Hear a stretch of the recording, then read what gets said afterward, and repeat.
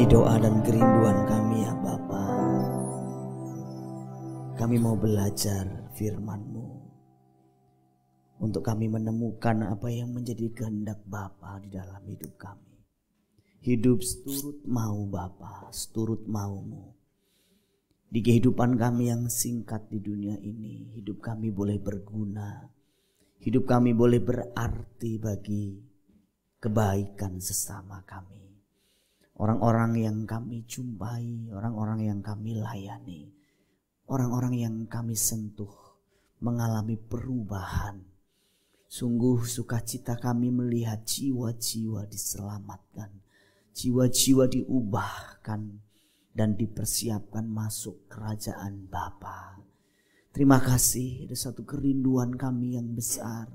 Suatu hari nanti kami kembali berkumpul bersama-sama di kehidupan yang baru, langit yang baru, bumi yang baru. Di sana kami boleh berjumpa dengan kasih dan cinta yang telah disempurnakan. Terpujilah namamu Bapa.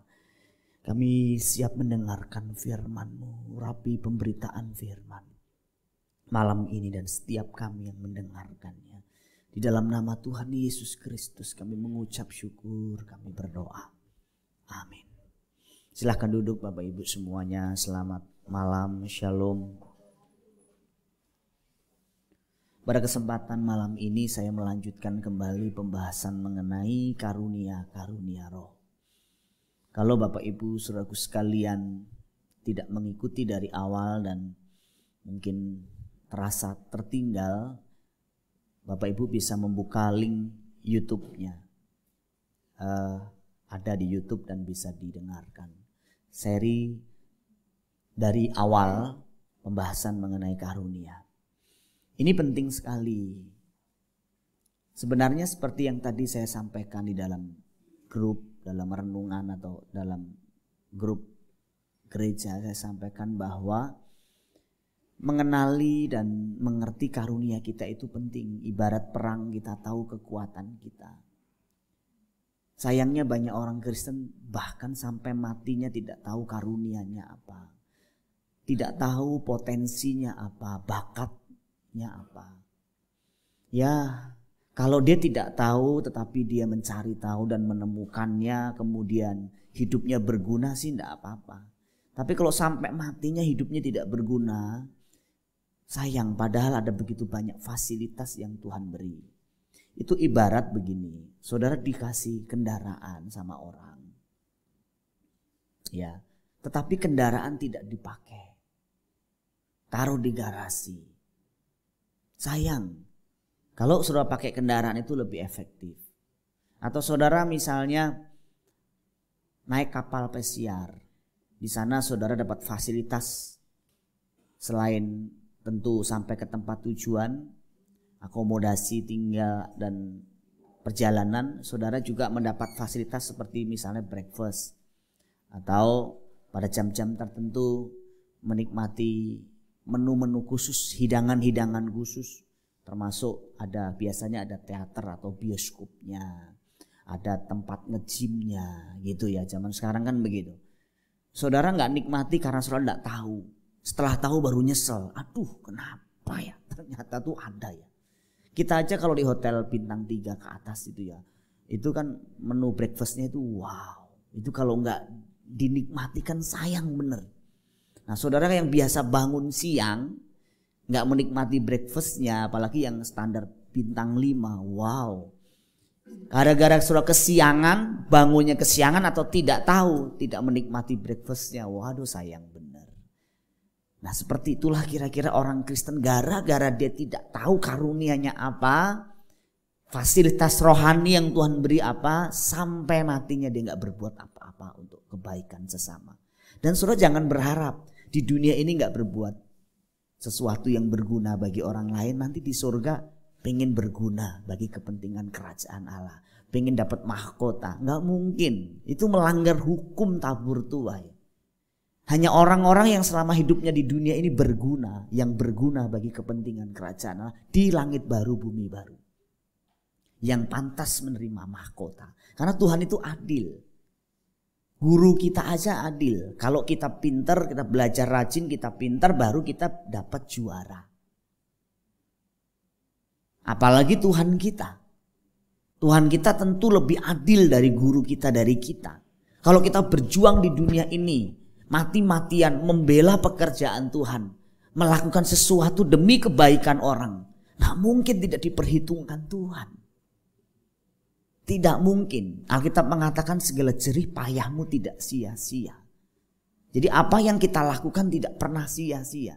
Saudara yang pagi, siang, sore membela kepentingan pekerjaan Tuhan dengan melayani saudara-saudara kita. Pasti tidak sia-sia. Tidak mungkin sia-sia.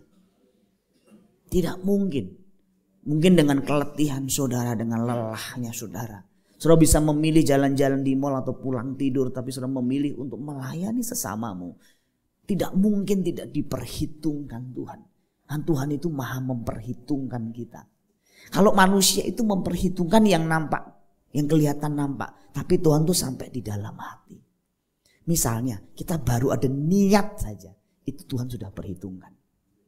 Misalnya begini, aku pengen Tuhan melayani. Aku pengen bisa tolong orang. Tuhan Tuhan catat loh. Tuhan lihat loh.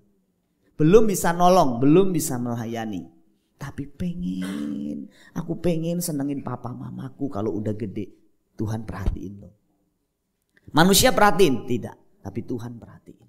Makanya Alkitab mengatakan berbahagialah orang yang lapar dan haus akan kebenaran. Lapar dan haus itu nggak kelihatan. Itu keinginan yang kuat untuk belajar firman. Itu sudah diperhitungkan sama Tuhan. Jadi orang-orang yang memang dari pertamanya itu getol cari Tuhan nggak mungkin nggak ketemu Tuhan. Pasti ketemu Tuhan. Pasti juga dibela oleh Tuhan. Kalau saudara meragukan Tuhan, saudara pikir Tuhan itu sama seperti bos saudara yang mungkin pelit, medit, kikir dan sejenisnya. Salah. Bos kita aja nggak semuanya pelit. Bos kita memperhatikan perjuangan kita yang tidak hitung-hitungan waktu, datang on time, menguntungkan perusahaan. Bos perhitungin. Ini orang gak hitung-hitungan buat perusahaan. Aku juga gak akan hitung-hitungan sama orang ini. Itu bos. Bos yang tidak keli yang kelihatan. Tetapi Tuhan kita gak kelihatan. Bos dari segala bos. Wow, itu luar biasa. Seringkali saya bilang kalau saudara sudah melakukan bagianmu yang terbaik dan seperti tidak diperhitungkan oleh siapa pun, belum tentu Tuhan tidak perhitungkan. Hanya masalah pembentukan proses, masalah waktu. Orang-orang yang mengikuti firman Tuhan pagi, siang, sore, membaca renungan dengan baik, mempelajari ulang, melihat kitab Alkitab, melakukannya dengan setia, nggak mungkin sama. Saudara nggak mungkin sama. Saya sudah melihat berubah. Memang tidak butuh satu dua hari, mungkin bulan tahun. Tetapi saya lihat berubah. Tidak mungkin tidak berubah. Orang yang dengar firman pagi, siang, sore, malam. Merenungkan firman pagi, sore, siang, dan malam. Kemudian dia coba praktekkan dengan segala upaya. Nggak mungkin nggak berubah. Walaupun terseok-seok. Sakit prosesnya. Saudara yang suami istri misalnya ya, yang berupaya betul-betul mengedepankan hubungan, membela kepentingan hubungan, perjuangannya betul-betul kelihatan sama yang cuek satu dengan yang lain. Sebodoh amat, tidak bisa sama. Contoh begini, tapi Pak, saya sudah coba deketin istri saya, layani istri saya, baik-baik istri saya. Istri saya cuma judes tuh, kagak berubah-berubah juga tuh. Belum berubah. Belum berubah, tapi nanti pasti berubah. Tapi saya sudah layani suami saya itu ya. Saya sudah bikinin air panas sampai saya bikin mau mendidih sekalian. Lalu saya sudah bikinin sayur asem. Saya sudah bikinin apa namanya masakan kesukaannya. Tapi nggak perhatiin juga tuh. Memang dia bebal tuh suami saya. Belum. Bukan bukan tidak, belum. Pada titik tertentu suamimu juga akan luluh hatinya. Pada titik tertentu hati Istrimu juga akan luluh. Ini orang aku sudah galak, aku sudah cuek, aku sudah kasar. Tapi kok masih sayang sih, masih perhatiin aku sih. Ini manusia terbuat dari apa sih? terbuat dari kuasa firman Allah. Nah orang-orang seperti ini nggak mungkin keluarganya nggak bahagia. Walaupun waktu perjuangannya itu melayani pasangannya itu berat. Jadi nggak pernah sama. Mana yang berjuang dan mana yang nggak berjuang beda dong. Teman-teman di sekolah ya kalian yang masih pelajar mahasiswa. Yang belajar rajin sama yang cuman kerjanya pacaran, main beda. Tapi nilainya sama-sama bagus, yang satu nyontek, yang satu bener. Eh, kamu nilai bagus karena nyontek sama kamu nilai bagus karena belajar bener. Beda loh. Makanya dia kalau jadi dokter ya, kalau nilainya hasil nyontek ya. Resep yang suruh kasih itu bikin orang mati tau Nyontek orang bukannya hidup, mati. Makanya belajar yang rajin. Belajar supaya pinter. Dan belajar Alkitab itu bikin pinter loh. Bikin cerdas loh. Jadi nggak mungkin sama aja. Yang betul-betul kerja kerja rajin, belajar rajin, pelayanan rajin sama yang nggak yang asal-asalan Pasti beda. Diperhitungkan sama Tuhan juga beda. Jadi tidak pernah sama. Oke? Itu pendahuluan yang saya sampaikan. Kita masuk ke karunia-karunia. Saya akan review sedikit mengenai satu karunia berkata-kata dengan hikmat. Karunia ini dalam bahasa aslinya hikmat ini Sofia, satu pengetahuan praktis dalam kehidupan sehari-hari yang memampukan manusia menemukan solusi kehidupan baik dalam hubungan dengan Tuhan maupun dengan sesama. Tapi ini bukan buat dirinya. Dia menemukan solusi-solusi praktis untuk kepentingan sesama. Orang seperti ini, wah nilainya mahal. Motivator-motivator itu kemungkinan besar punya karunia ini. Jadi dia bisa merangkai satu kata kalimat tentu dari pelajaran hidupnya juga. Dan dia memberi solusi-solusi kehidupan. Orang kalau dengar kata-katanya dia, nasihat-nasihat dia usahanya sukses. Keluarganya bahagia, kerohaniannya bagus. Nah, orang-orang seperti ini di gereja harus banyak. Jangan saudara di gereja maaf ya. Jadi malah nggak pinter. Saudara harus pinter, berhikmat, cerdas. Kalau di perusahaan nanti bos tuh ngandalin saudara. Misalnya bos lagi mentok nih, yang dipanggil Sugi, sini Sugi, Gimana ya Sugi ya? Kita mau ada proyek ini. Kita mau keluarkan produk baru nih. Menurut kamu bagaimana? Atau ambil produk baru. Kalau Sugi bilang oke, okay, saya ambil. Kalau Sugi bilang nggak oke, okay, nggak saya ambil. Saking pentingnya orang itu, saking pinternya orang itu.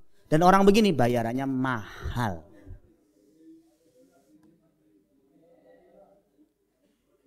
Tetapi kalau saudara di perusahaan cuman bikin perusahaan keluar duit, tidak nguntungin perusahaan, orang seperti saudara tidak ada nilainya. Caranya gimana? Saudara harus pinter, harus belajar rajin. Nah, di retreat nanti saya ajarkan. Anak-anak harus diajar dari sejak awal menemukan cita-citanya sebagai kendaraan untuk menjadi alat Tuhan, memuliakan Tuhan. Mereka harus menemukan sejak masih muda Bukan apa yang ingin mereka capai, tetapi apa yang Tuhan inginkan dalam hidup mereka. Harus mulai dari Tuhan, bukan dari mereka. Bukan cita-citaku, tapi cita-cita Tuhan untuk hidupku. Nah orang-orang begini harus mulai dari cinta Tuhan dulu. Kalau dia cinta Tuhan seperti Daniel, Sadra, Mesa, Abednego. Orang begini nggak mungkin nggak dipakai orang. Makanya Sadra, Mesa, Abednego itu 4 sampai 5 generasi dipakai. Saking pinternya, cerdasnya, cemerlangnya. Ini minggu siang kita bahas. Bagaimana memiliki roh yang luar biasa. Saudara itu harus orang-orang yang seperti itu. Di mana pun saudara berada. Di masyarakat juga kalau perlu RT RW datang sama saudara minta konsultasi sama saudara. Saking saudara pintar. Jangan maaf ya. Pinternya cuma bikin masalah. Trouble maker. Bukan history maker trouble maker.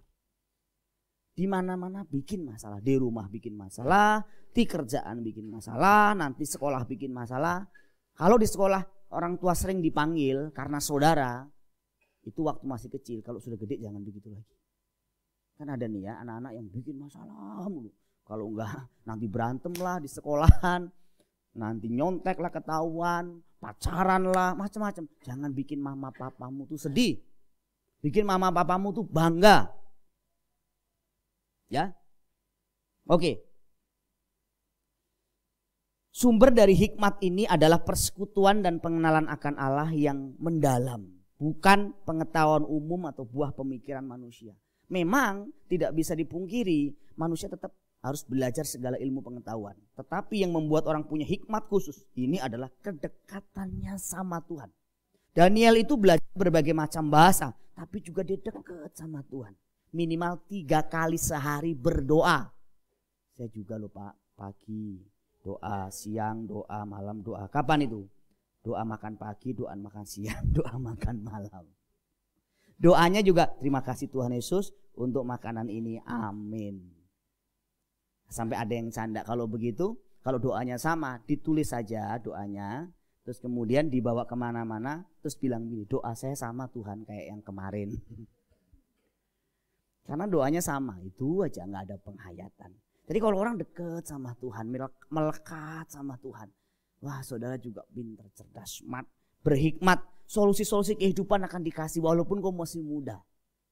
Tidak menutup kemungkinan kau lebih pintar dari guru-gurumu. Itu kata Alkitab. Orang-orang yang mungkin senior bahkan akan konsultasi dengan dirimu. Eh gimana dek, kamu saya lihat pintar bener ya. Cara berpikirmu dewasa matang. Aku mau belajar sama kamu. Karunia yang kedua yang akan saya review adalah karunia berkata-kata dengan pengetahuan. Ini adalah penerapan hikmat secara praktis dalam kehidupan nyata di gereja dan di masyarakat. Jadi penerapannya. Orang-orang orang-orang yang mengatasnamakan Kristen itu bukan orang yang anti belajar, harus rajin belajar. Karena pengetahuan ini juga hasil belajar, bukan di drop dari surga, di drop dari atas, tapi proses belajar termasuk belajar Alkitab. Kalau saudara nggak mau belajar, saudara nggak bisa punya pengetahuan. Tidak bisa. Pengetahuan hasil proses belajar. Apa saja tadi pagi saya khotbah. Sayangnya banyak orang Kristen mulai malas belajar waktu masuk gereja. Kenapa? Karena sering ditengking di mimbar. Roh kritis, enyah. Gimana roh kritis dienyah? Terus Jangan pakai otak saudara. Jangan pakai otakmu saudara. Lagi mana nggak pakai otak. Otak kita tetap harus kita pakai. Bahkan harus pinter, smart. Bahkan kalau pendetanya sesat. Saudara boleh bilang dalam hati sih ya. Sesat. Misalnya saya bilang begini. Saudara. Saudara yang sudah menikah. Saudara tidak bahagia. Silahkan nikah lagi. Saudara harus bilang sesat. Dan kalau perlu sudah keluar ruangan, pergi. Loh, ada pendeta ngomong begini.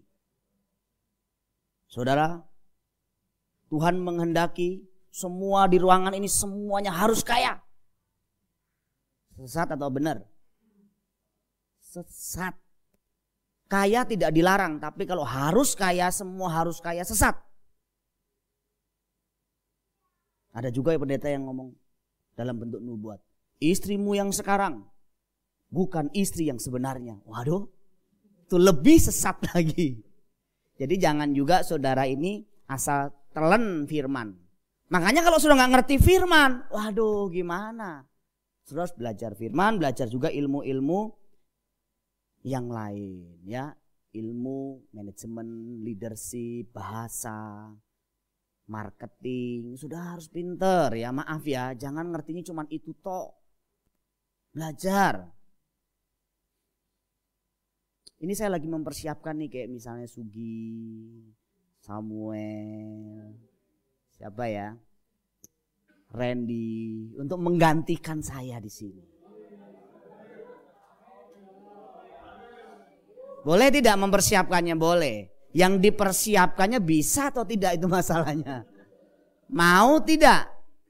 Ah, mustahil lah saya begini kok mana bisa. Saudara harusnya bisa ngelihat Agung loh. Cermin kita salah satunya Agung loh. Kalau kita kalau kalian lihat Agung harusnya malu. Waktu Agung datang, beberapa di antara saudara itu sudah jadi pelayan Tuhan ber, bertahun-tahun. Ya kan? Tetapi buktinya sekarang Agung sudah menyampaikan firman Tuhan loh di ibadah remaja. Di sekolah. Nah sebentar lagi diumum nanti bulan September. Bukan jadi ukuran sih nyampein firman Tuhan mah nggak ukuran. Artinya saudara juga harus belajar juga yang lain-lain. Tapi kalau saudara nggak mau belajar ya nggak bisa. Ya, jadi harus belajar.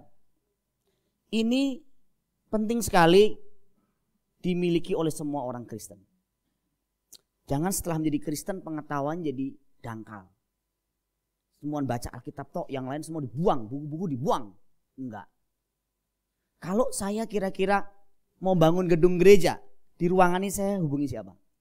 Pasti Ronald. Siapa lagi? Saya mau bangun gedung gereja nih. Siapa? Agung. Apa hubungannya?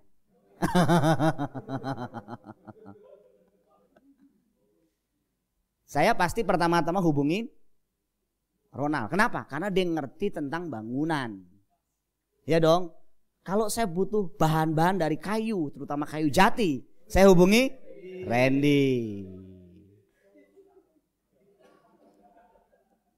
Kalau kira-kira gereja mau punya kafe, punya restoran, kita harus konsultasi sama siapa nih? sama Aini mungkin, sama uh, Mbak Ani mungkin yang pinter masak. Kalau kita mau bikin gereja dengan nuansa taman, siapa? Mas Joko. Kalau gereja kita isinya makan-makan saja, kita belajar sama siapa?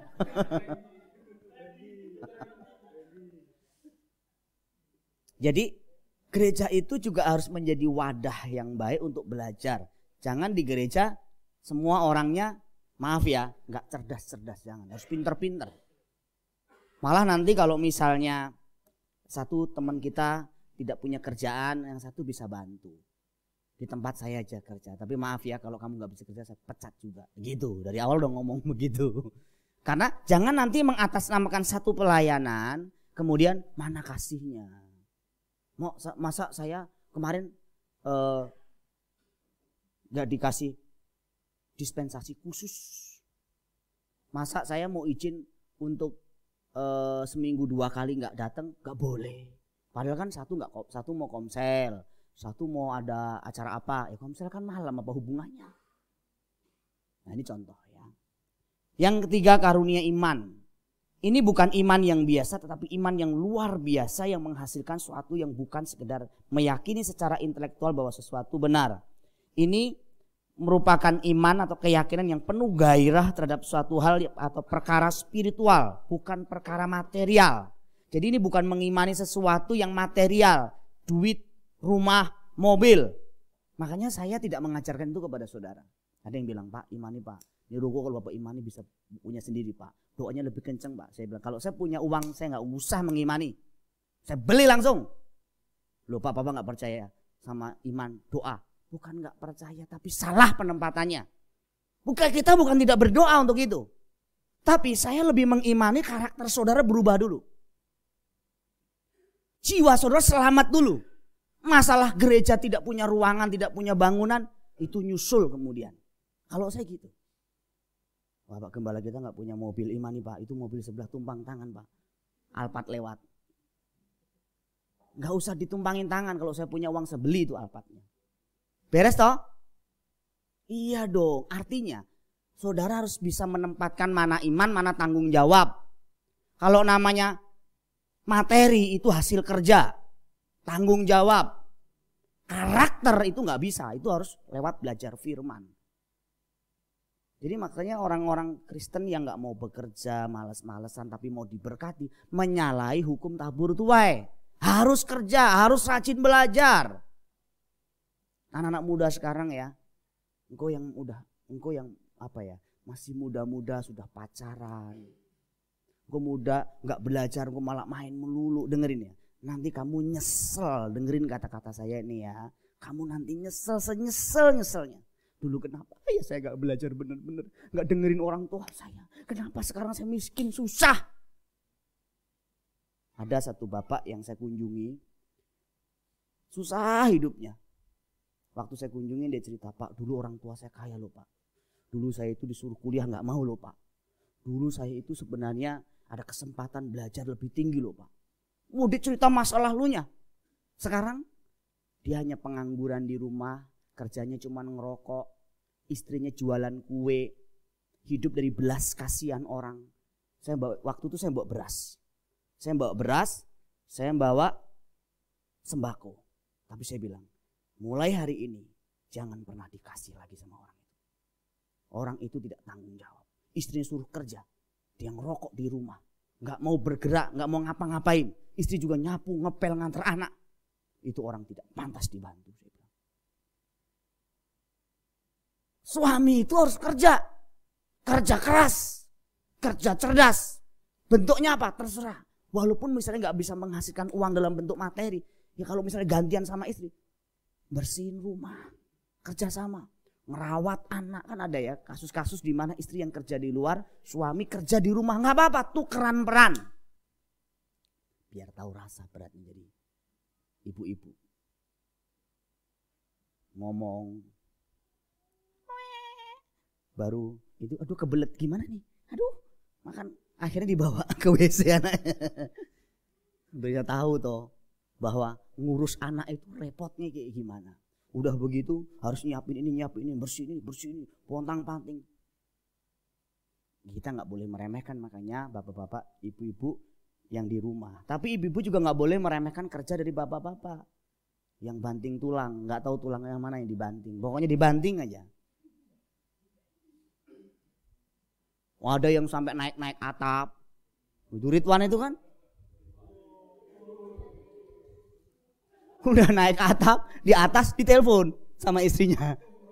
Nolen, nolen, nolen, nolen, nolen, nolen, nolen, nolen, nolen, nolen. Ya halo, ada petir.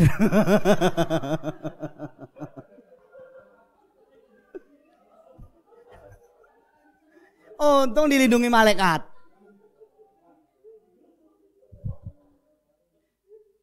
Bapak-bapak, ibu-ibu, engkau yang bekerja keras, engkau tuh pahlawan. Serius, engkau pahlawan. Jadi eh yang pahlawan juga bukan hanya bapaknya ya, ibunya juga pahlawan. Dua-duanya pahlawan. Yang nggak pahlawan itu kalau misalnya di rumah cuma tadi angkat angkat kaki, ngerokok, nonton TV sepanjang hari, nggak boleh. Harus kerjakan sesuatu. Apa itu? Mau bersih-bersih rumah, mau masak, mau ngajarin anak. Kerja itu nggak selalu kelihatan duitnya, tetapi yang penting kerja. Jangan di rumah nonton sinetron sepanjang hari. Kira-kira ada nggak ya di sini ya? Semoga tidak ada. Ya. Jadi orang tuh kadang-kadang memang begitu. Kalau untuk material tuh imannya uh tinggi banget. Aku percaya tahun depan punya Alphard. Aku percaya tahun depan punya rumah mewah. Aku percaya tahun depan. Tetapi nggak pernah mengimani tahun depan aku sudah nggak marah-marah lagi. Tahun depan Aku sudah nggak nggak harusnya nggak egois lagi sama pasanganku. Aku sudah harus bisa melayani pasanganku. Tahun depan mulutku ini sudah kalau bisa tuh kujahit secara rohani. Kan ada ya, maaf nih ya. Ada orang tuh mulutnya ya. Aduh, nggak bisa ditahan walaupun cuma sebentar. Tapi Pak, katanya kan memang wanita itu harus 10 ribu kata per hari. Jadi kalau 10 ribu kata itu belum nyampe Pak, dia akan ngomong terus walaupun sama tembok.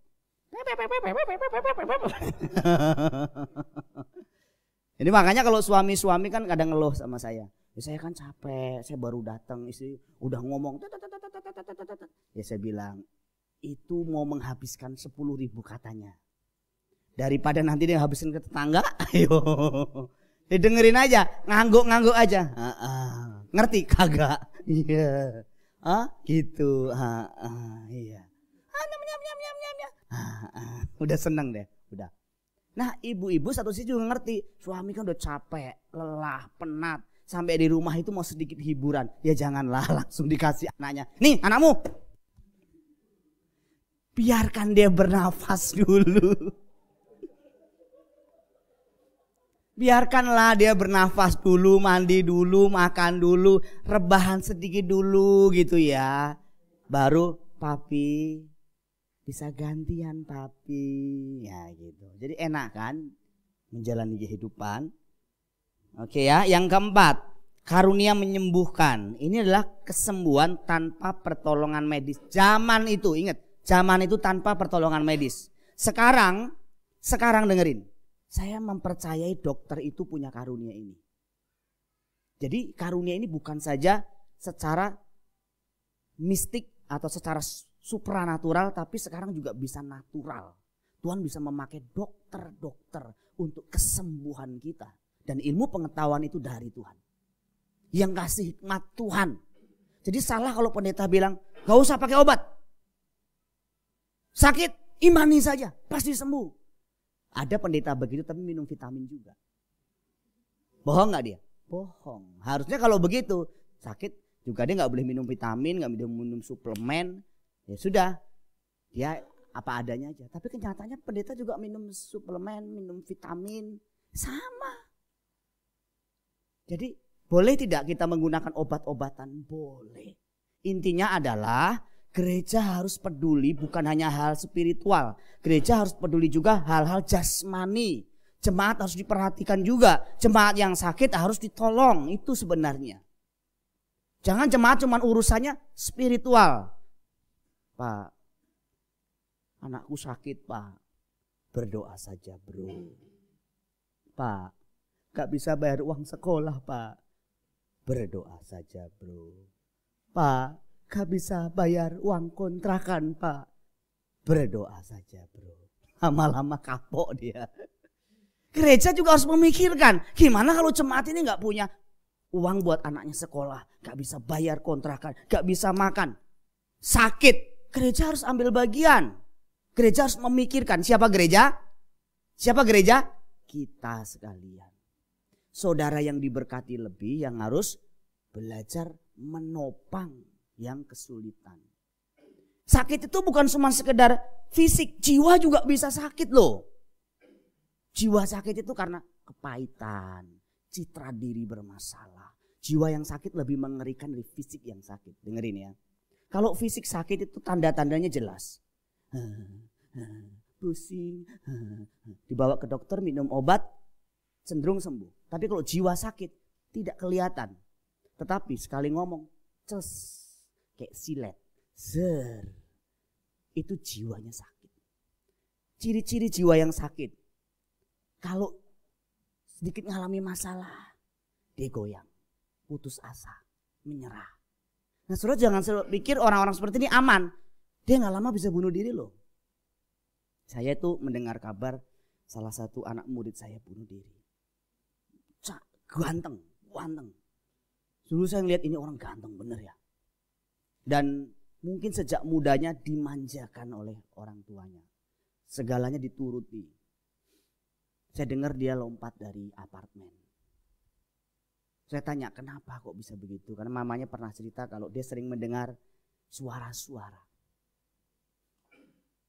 Dia sering berhalusinasi. Saya nggak tahu kenapa, tetapi saya melihat anak itu waktu masih remajanya. Saya lihat anak itu cenderung apa ya, mau hidup gampang. Nah ini hati-hati anak-anak ya, anak muda ya. Kalau kamu sejak kecil sudah mau gampangnya, nggak mau kerja keras, nggak mau belajar rajin, nggak mau bantu orang tua, dengerin. Engkau jiwamu bisa bermasalah. Ah, orang tua juga bisa menolong jiwa anaknya jadi sakit menolong anaknya jiwanya sakit. Gimana? Dengan memanjakannya, dengan menyediakan semua fasilitasnya tanpa dididik dengan baik, nuruti semua keinginannya, nanti anakmu tidak bisa survive. Aduh papi, papi nggak bisa ikat tali sepatu. Sini sayang. Kalau usia 2 tahun sih nggak masalah. Tapi kalau sudah usia 12 tahun, papi, papi nggak bisa ikat tali sepatu. Sini sayang. Yang bermasalah bukan saja anaknya, orang tuanya bermasalah. Usia 2 tahun masih ke kamar mandi masih ditemenin dan dimandiin mungkin di bawah 2 tahun. Tapi kalau sudah 12 tahun masih minta dimandiin dan orang tuanya juga masih mandiin, anakmu bisa sakit jiwa. Serius. Bermasalah. Dan ini nanti retreat kita melayani banyak anak-anak kita yang sakit jiwa. Tapi pada stadium tertentu. Dan saya telah melayani begitu banyak orang. Ada yang sembuh, ada yang nggak sembuh juga. Aduh kasihan mereka itu datang dengan air mata. Baru dengar sesi awal air mata sudah netes. Sebenarnya mereka itu mau cerita tapi nggak tahu sama siapa. Dan orang-orang begini kalau nggak disembuhin, waduh kalau dia nikah sama orang, dia akan nuntut lagi, nuntut lagi. Orang yang belum sembuh selalu akan menuntut. Dia nggak bisa memberi. Kalau dia nikah nih, kalau dia belum sembuh jiwanya, layani aku, perhatiin aku, sayangi aku, tolong aku, aku, aku, aku. Dia akan pikirannya cuma begitu. Tapi orang kalau sembuh, dia mulai bisa melayani orang lain. Menservis orang lain. Tidak peduli pasangannya menservis dia apa enggak. Nah itu ciri orang yang jiwanya sehat. Perhatikan kalau anakmu sejak kecil nggak pernah bantu engkau. Cenderung cenderung mencari kebahagiaannya sendiri. Itu ciri-ciri sebenarnya bermasalah.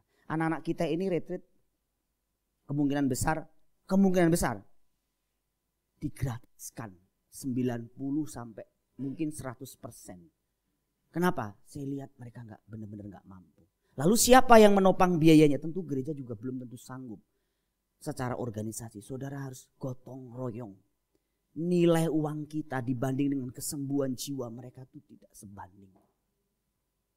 Tidak sebanding. Nanti kalau saudara melihat anak saudara, teman yang saudara support ini bertumbuh, berubah hidupnya, sehat jiwanya. Wah, menyenangkan sekali. Yang tadinya malas, yang tadinya egois, yang tadinya mal, garak, galak, apa sinis. Kok sekarang jadi baik, penuh perhatian. Itu ciri-ciri dia mulai sembuh. Yang tadinya gampang mengeluh, nggak tertib hidupnya, dan mulai bisa mulai bisa survive. Itu ciri-ciri jiwanya sehat. Yang tadinya mengutamakan penampilan, dikit-dikit ganti gadget, dikit-dikit uh, cat rambut, rambut diganti dari putih jadi biru, biru jadi hijau, hijau jadi ungu, ungu. Ya nggak semua cat rambut begitu ya. Tapi ada orang itu cat rambut karena mengutamakan penampilan. Kan ada istilah lebih baik lebih baik apa? Kalah nasi daripada kalah aksi. Gak apa-apa lah kita makan apa adanya nggak masalah lah. Yang penting tampilnya mesti perlente, mesti keren. Jam mesti bagus, mesti bagus. Di rumah instan terus makannya. Mobil gonta ganti, sepatu gonta ganti, padahal nyakit leher. Kenapa? Penampilan bro biar orang bilang keren, biar orang lihat orang lihat kaya, padahal sok kaya, nggak punya apa-apa. Orang-orang yang bener-bener kaya itu ya, encek-encek glodok itu ya, encek-encek tanah abang itu, itu pakai celana pendek, sendal jepit, bawa kresek hitam, isinya apa tuh? Duit. Kalau sudah bawa kresek hitam isinya apa? Gorengan.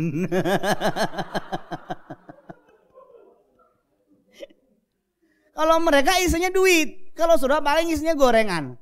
Saudara beli tas misalnya ya. Yang harga 5 juta.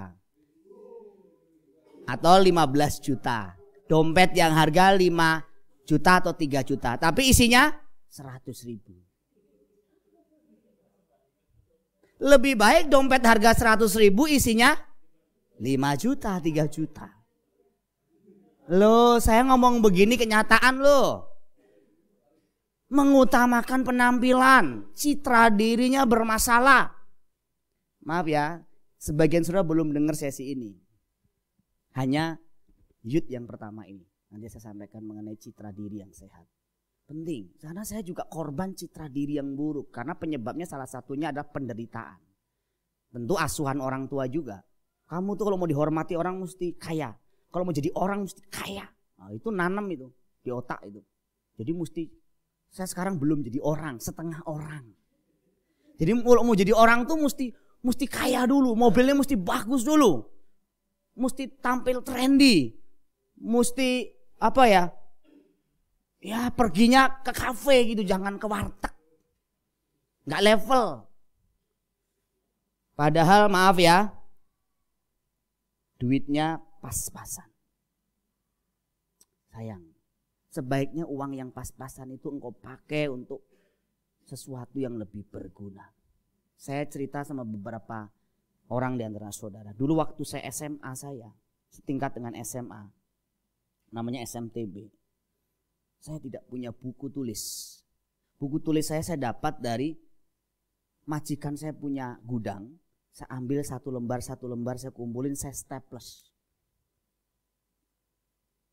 Benar-benar memprihatinkan. Mas Iwan salah satu saksinya, Pak Joko salah satu saksinya. Saya juga tidak pernah punya buku-buku panduan. Buku diktatnya saya nggak punya.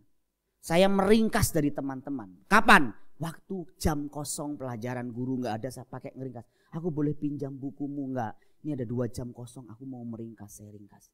Ringkasan saya itu keluar pas ujian-ujian dan dibeli orang sampean. Saya tetap bisa juara sekalipun saya tidak punya buku fasilitas yang memadai. Anak sekarang buku lengkap, fasilitas lengkap dari orang tua, juara juga dari belakang. Saudara jangan bikin malu orang tua, jangan bikin susah Tuhan loh ya. Saudara nggak boleh gitu loh ya. Nanti sudah kalau pintar itu, sudah bisa dipakai Tuhan juga luar biasa. Seperti yang saya khotbahkan tadi pagi. Orang-orang pintar itu diincar Tuhan loh ya. Diincar Tuhan. Yang bodoh nggak diincar ya, tetap diincar. Tapi beda efektivitasnya. Kira-kira yang bisa jangkau orang-orang yang sekelas menteri, sekelas anggota DPR, sekelas ilmuwan-ilmuwan, itu siapa? Tentu orang-orang yang pintar juga. Kita kalau mau ada English service, misalnya ibadah ibadah, ibadah bahasa Inggris, tentu pelayan-pelayannya harus bisa bahasa Inggris. Ya kita pikirkan ke depan ada English service misalnya, Mandarin service. Lah siapa yang melayani? Ya saudara. Sedang diberikan Jawa service. Yang datang Mas Joko sendiri. Firman Tuhan berkata, Tuhan mau jiwa kita sehat dalam 3 Yohanes pasal 1 ayat 2. Saudaraku yang kekasih, doa semoga engkau baik-baik dan sehat-sehat saja dalam segala sesuatu sama seperti jiwamu baik-baik. Tuhan itu mau jiwa kita baik-baik. Makanya untuk jiwa kita baik, fisik kita baik, pertama kita harus hidup bertanggung jawab, nggak ada pilihan. Tata hidup kita, bangun pagi, nikmati sinar matahari. Jadi saudara kalau biasa bangun siang nih, Kamu nggak kamu nggak boleh berharap kamu sehat jangka panjang nggak bisa. Kenapa? Karena sinar matahari itu menyehatkan liver kita, menyehatkan bagian organ-organ dalam kita. Dan saudara yang sering begadang misalnya, jangan berharap umur panjang nggak bisa. Dan masalahnya saya termasuk orang yang sering begadang juga. Jadi saya tahu umur saya juga. Saya mencoba untuk menebusnya di sore hari tidur sebentar. Karena tidur saya bisa jam 1, bangun jam 4. Bangun setengah 5 itu hampir setiap hari. Tapi siang saya gunakan untuk istirahat sebentar. Nah kalau sudah begadang yang tidak ada gunanya, bangunnya siang, livermu kena. Nah kalau begitu, kehendak Tuhan untuk kita sehat. Gak bisa. Nah kalau engkau ya masih muda, kau gunakan hidupmu untuk foya-foya. Makan yang gak berguna. Minum minuman yang berbahaya bagi ginjal. Terus nanti waktu kamu masih muda gagal ginjal. Tua dikit diabetes, gagal ginjal. Waduh, gimana itu? Sayang. Jadinya Tuhan akhirnya tidak bisa memakai engkau secara efektif. Kalau engkau sehat, kok bisa dipakai Tuhan efektif. Itu sebabnya, saudaraku sekalian, karunia kesehatan atau karunia di area kesembuhan ini juga berhubungan dengan kesehatan kita. Kita harus jaga juga kesehatan kita dengan baik. Pola makan, pola hidup. Teratur. Biasakan makan sarapan pagi. Kecuali memang mau puasa. Kadang saya disalahkan juga loh. Makan pagi, makan siang, makan sore. Ya ampun jam segini makan lagi lah. Makan pagi itu kalau saya kan sebelum jam 8 makan pagi. Siang sebelum jam 1 makan siang. Malam sebelum jam 6 sekarang sudah makan malam. Kenapa? Ya itu aturan makan. Jangan tunggu asam lambung dulu. Kalau saya tunggu asam lambung dulu mahal. Asam lambung itu menyakitkan. Saya orang korban asam lambung, telat makan. Ya kalau memang sudah sibuk sekali, bawalah makanan-makanan kecil untuk mengganjal perutmu. Havermut misalnya salah satunya yang tinggal disiram air panas dimakan. Nanti kalau sakit biayanya mahal sekali. Jangan udah sakit, Tuhan aku minta mujizatmu Tuhan. Sembuhkan aku Tuhan. Malaikat bilang, dikasih tahu dari kemarin-kemarin sama khotbah, kagak dengerin lu. Karena orang itu maunya Tuhan langsung bicara. Pendeta bicara nggak dianggap, dokter bicara nggak dianggap, orang tua bicara nggak dianggap. Orang tua hamba Tuhan, dokter itu bisa jadi wakil Tuhan loh. Udah begitu makanya bak melulu. Bolehlah sekali-sekali tapi jangan tiap minggu, tiap hari tuh. Makanya bak melulu. Bak tuh bagiannya juga bagian yang lemak-lemak gitu. Ya. Itu kan bukan untuk dimakan sebenarnya. Maaf ya, sesekali nggak apa-apa. Tapi kalau saudara sering-sering, saudara nggak punya punya penguasaan diri yang baik. Kalau jadi pemimpin saudara tuh sudah ngasih contoh yang baik, nggak jadi teladan. Sesekali boleh. Makanya kadang-kadang aku kalau ngajak makan saya, di tempat yang ada makannya semua bak gitu dia kayak mau doa tuh kayak rasa bersalah tapi bagus hati nuraninya kan bekerja jadi kita juga boleh sekali-sekali tapi jangan sering-sering lah kadang-kadang kita mau makan nasi padang aja kita juga ngelihat udah berapa lama kita makan nasi padang kita mikir wah seminggu ini ya paling ya maksimal lah misalnya seminggu dua kali maksimal kalau bisa ya Nggak selalu lah, kadang-kadang nggak harus begitu. Yang sehat yang makan di rumah. Ini contoh dari sisi makanan. Karunia kesembuhan menunjukkan bahwa pelayanan gereja seharusnya bukan hanya urusan roh dan jiwa atau spiritualnya saja, tetapi juga mengurus tubuh mereka yang sakit, yang telanjang, yang terabaikan, yang lapar harus diurus. Tentu tidak hanya saya yang mengurus ini, saudara harus bagian dari gereja ini yang membantu mengurus saudara-saudara kita yang lapar, saya tidak mau lihat dan saya saya nggak nggak boleh ngelihat orang itu sampai lapar. Padahal kita punya dosa besar kita. Melihat orang di depan mata kita lapar, sementara kita makan kenyang. Terus kita bilang kebutuhan hidup itu tidak penting. Yang penting Tuhan saja. Tapi kita makan berlimpah. Kita ngomong kebutuhan hidup itu nggak penting. Yang penting Tuhan saja. Itu dosa serius loh ngomong begitu. Tuhan tuh nggak pernah ngomong begitu. Tuhan tuh lihat orang lapar, lihat orang sakit, dipeduliin semua. Kita harus begitu. Kita harus ringan tangan untuk menolong orang. Tidak harus tunggu kaya. Menolong itu tidak tunggu kaya. Tapi tunggu kita ini punya beban, punya hati. Kalau kita punya nasi satu piring kita bisa bagi dua. Kalau kita bisa punya beras dua liter, satu liter untuk saudara kita, satu liter buat kita. Itu memberi. Kadang-kadang kalau Eyang dulu pulang kampung bawa beras setengah karung, hampir satu karung gitu. Seneng kan? Karena beras kampung itu kan rasanya beda, enak. Cari di Jakarta susah, cari di sini susah. Banyak sini beras-berasnya sudah rasanya udah aneh. Rasanya ego saya berkata gini, sayang kalau dikasih orang. Ini bisa untuk satu bulan. Tetapi Roh Kudus bilang kamu tidak boleh serakah. Kamu harus berbagi dengan jemaat, dengan sahabatmu, dengan orang-orang yang kau kenal. Ya kadang-kadang langsung kita bagi-bagi. Seliter sono, seliter sini, seliter sini, seliter sini. Bagian kita. Tik. Baru kita masak beberapa hari habis. Pengen lagi nunggu yang pulang kampung dulu. Tapi orang-orang seperti ini dipelihara Tuhan. Saudara nggak usah takut kalau sudah hidup untuk menolong orang lain. Mungkin saudara yang dapat gajinya sebulan sekali, belanjanya juga seminggu sekali. Kalau ketemu teman-teman di kos gitu ya tinggal di kos. Ngelihat prihatin dengan teman-teman kos yang makan mie instan, sudah makan ada beras lebih, ada telur lebih. Harusnya ya, sudah nggak nggak boleh tutup mata. Kasihan tuh mereka bisa kena cancer makan mie instan tiap hari. Saudara harus bagi itu. Beras, nasi, sesekali tapi memang ada juga orang yang salah ya. Jadi di rumah makan mie instan, mie instan, mie instan. Sekali potong rambut 300 ribu, 400 ribu, 500 ribu. Ya salah. Sekali beli gadget, sekali beli sepatu, sekali nonton. Ya salah. Prioritas makan sehat, sayur-sayuran, buah, ikan. Sisa baru pikirin kalau mau ganti ikat pinggang. Ikat pinggang masih bagus juga kok. Gadget masih bagus juga, hanya ketinggalan zaman dikit. Gak apa-apa lah. Jangan sama dong dengan Agung. Beda lah ceritanya. Jangan samain sama Ridwan lah. Beda lah.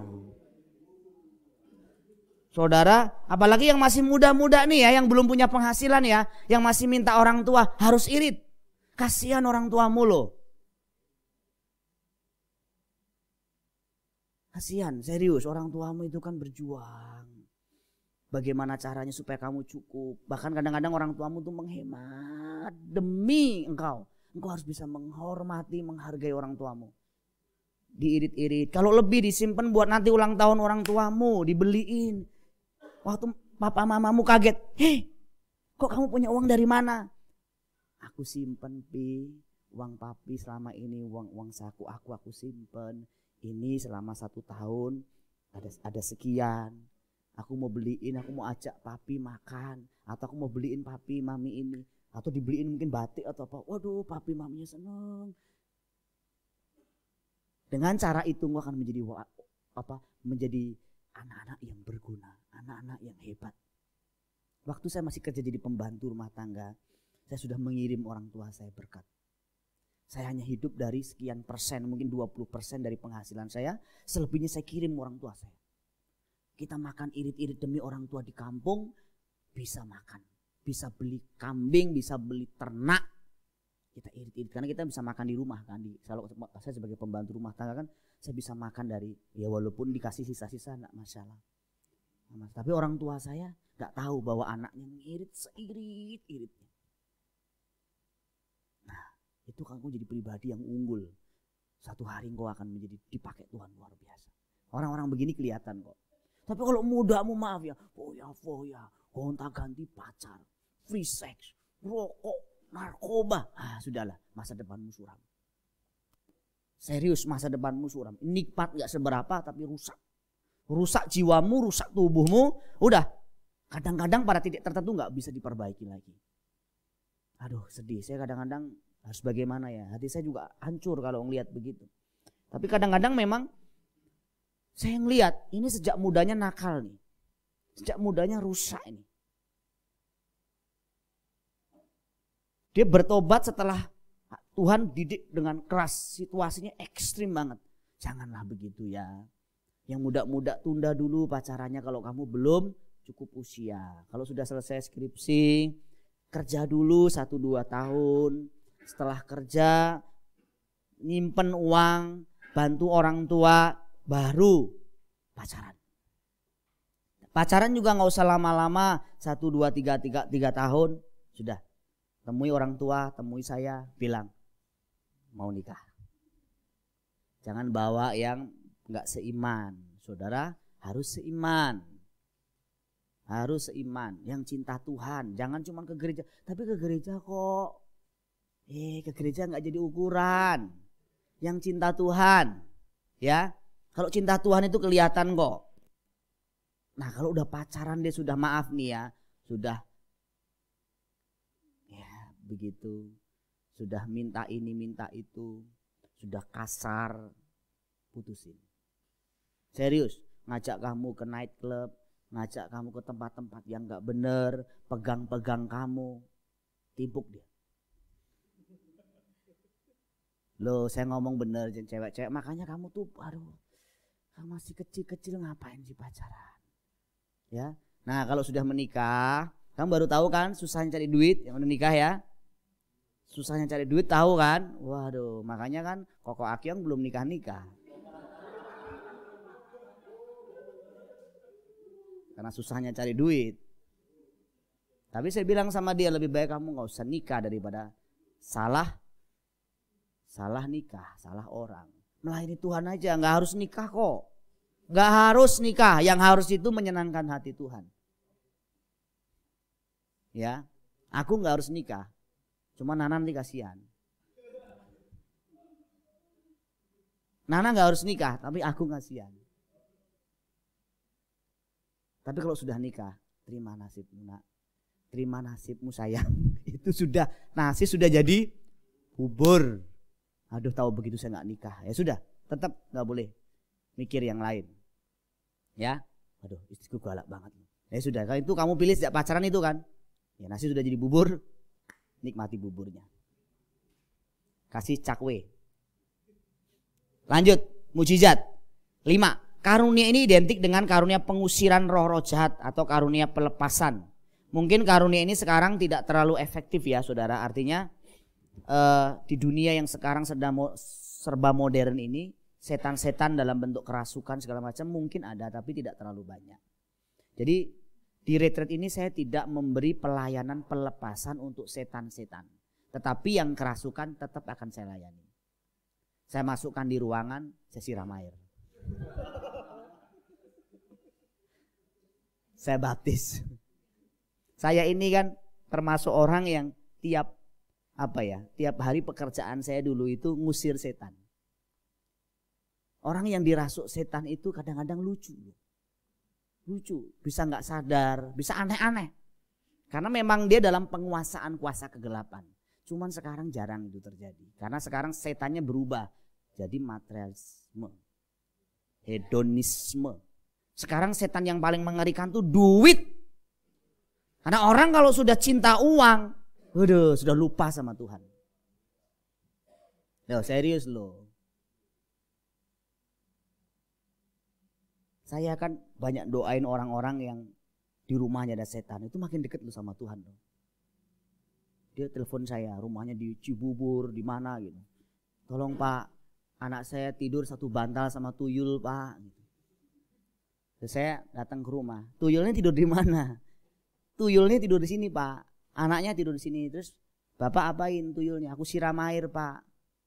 Loh kok disiram air nggak di doakan diusir dalam nama Yesus. Ya, aku doakan dalam nama Yesus juga sih Pak. Saya ciprat-cipratin air emang tuyul takut sama air.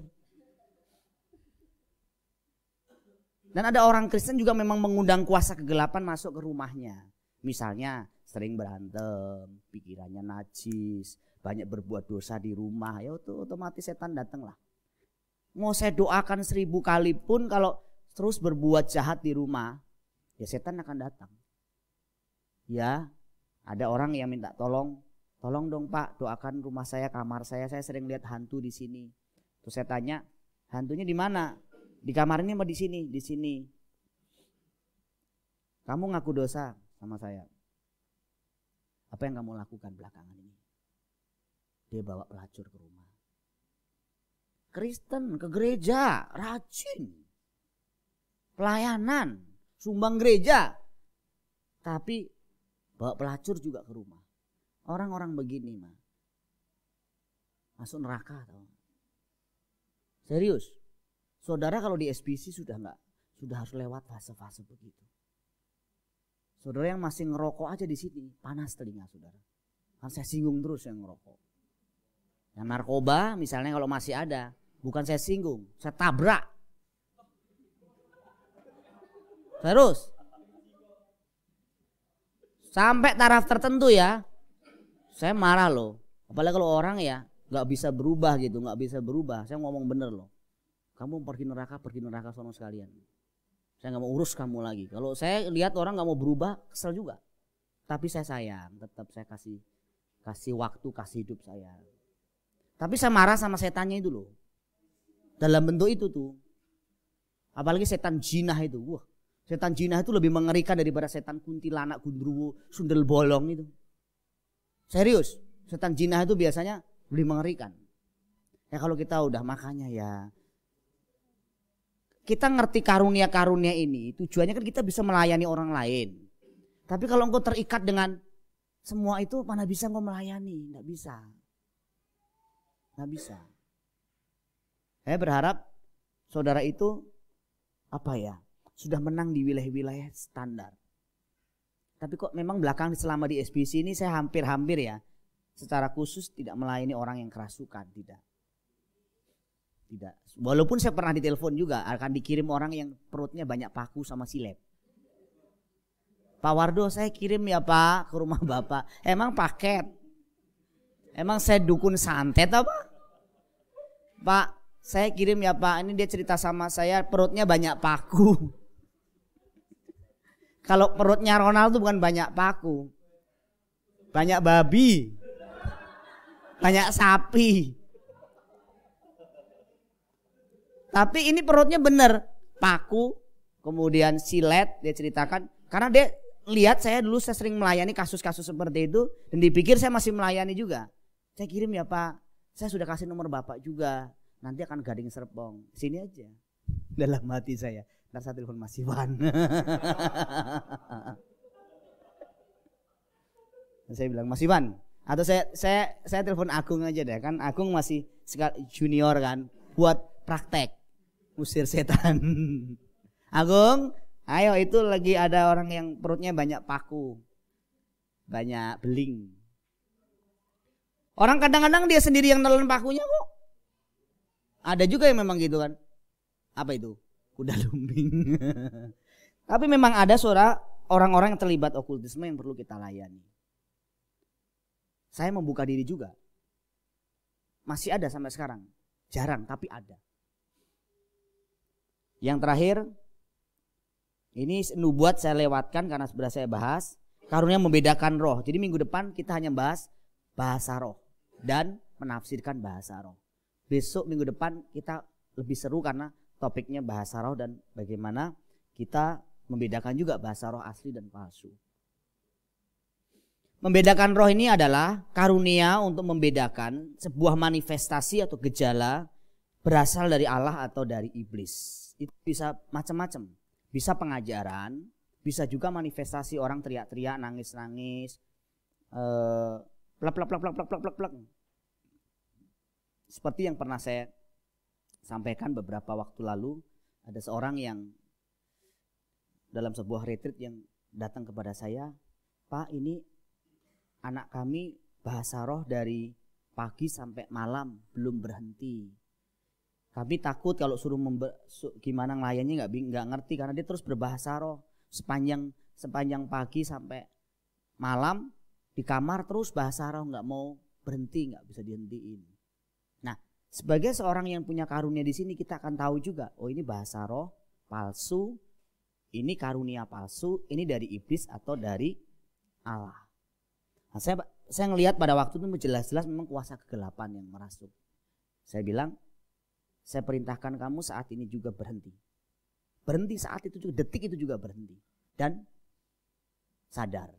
Saya ajak ngobrol dan baru dia menceritakan.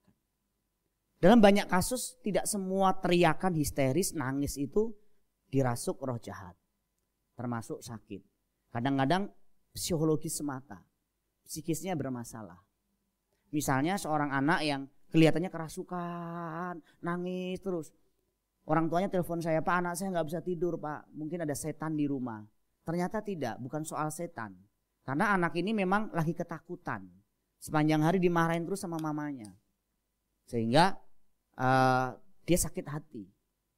Ada juga opa oma-oma yang nangis terus. Dipikir kerasukan. Ternyata dia cuma kangen sama cucunya. Waktu saya bawa cucunya sini. Sini. Saya temuin omanya. Oma kangen ya sama cucu. Iya Pak Pendeta kok tahu. Sini, duduk sini. Cucunya pegang tangannya oma. Ngobrol, sembuh.